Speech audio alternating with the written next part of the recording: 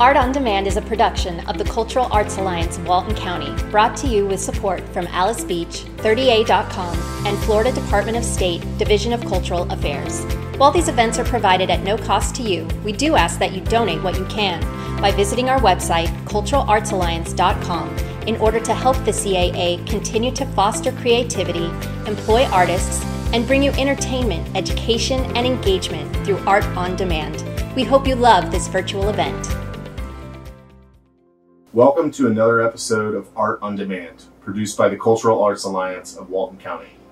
I'm Walt Hartley, owner and operator here at Dive 30A, and I also volunteer as the board president for the South Walton Artificial Reef Association. We're down here in Grayton Beach, Florida, and today we'll be exploring the story behind the Underwater Museum of Art, or UMA for short, the nation's first permanent underwater sculpture exhibition.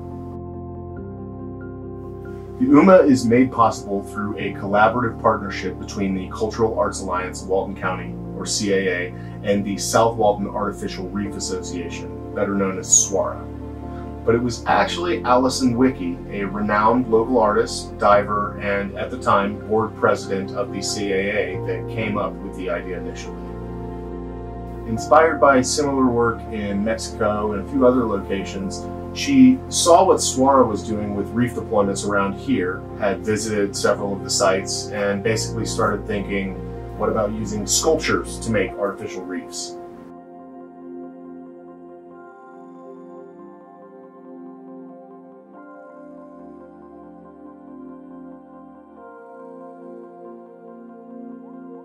The UMA is a perfect marriage of the arts with marine conservation. It's the first presentation of the CAA's Art in Public Spaces program and also provides valuable habitat for a wide range of marine species while showcasing unique and prolific works of art. Each year, the CAA puts out a call to artists and receives submissions from all around the world.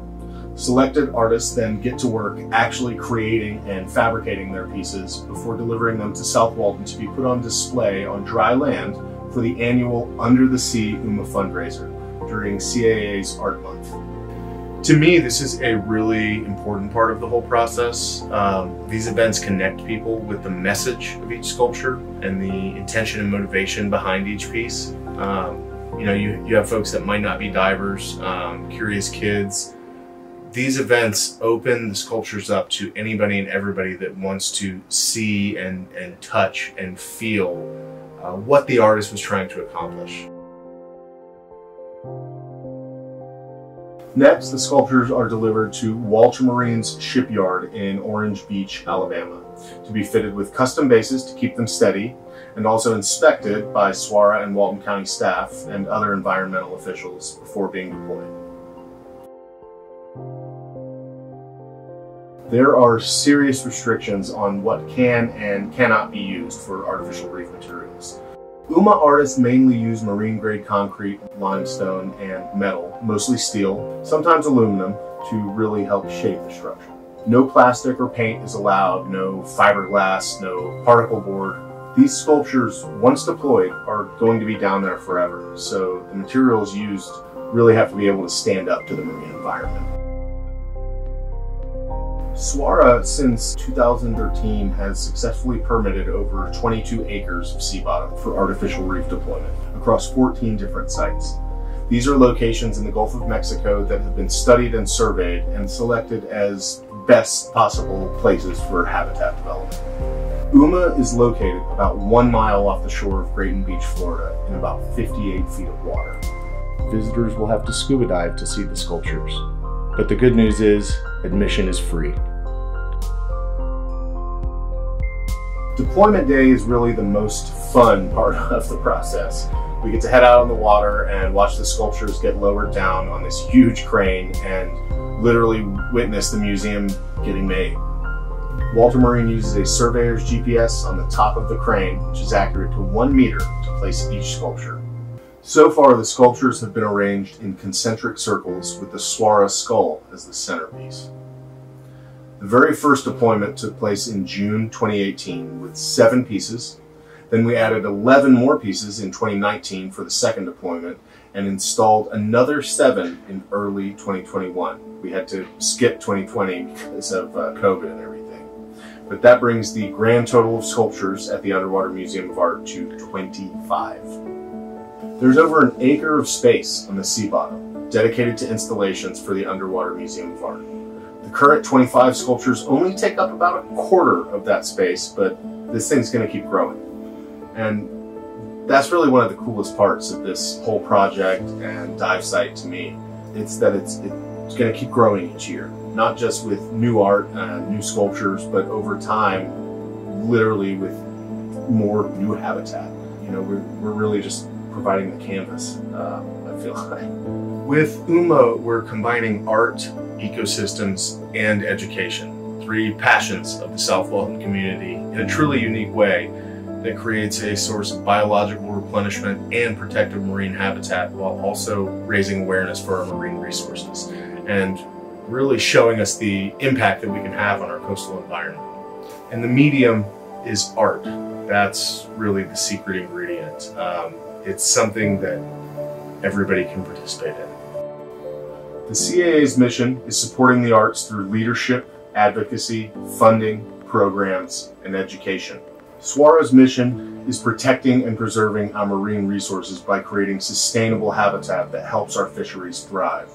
UMA is so much more than a new marine habitat, a collection of cool sculptures at the bottom of the Gulf.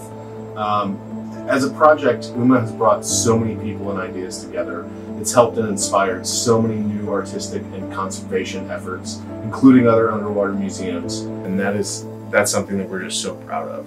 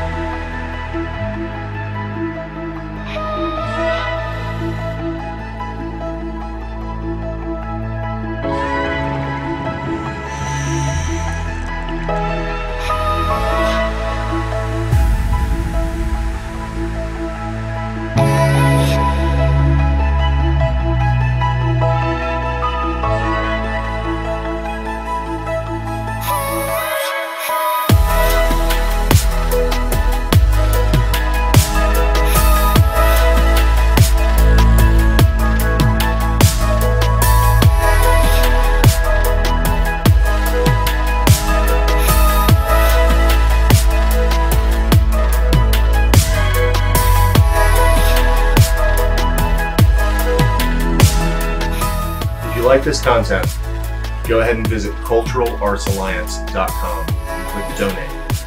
$5, $50, $1,000. Every little bit helps. Thanks so much.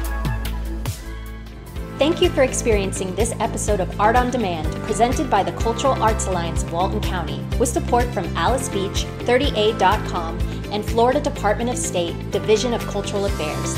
We hope you explored your creativity and learned something new today. As the creative core of Walton County, the Cultural Arts Alliance of Walton County offers support, connection, and access opportunities for all forms of art, every variety of maker, all levels of learners, and especially art lovers.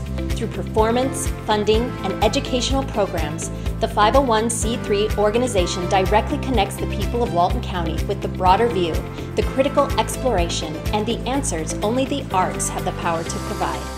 If you loved this episode, please visit culturalartsalliance.com and click the donate button to give what you can to help the CAA continue to bring you art on demand.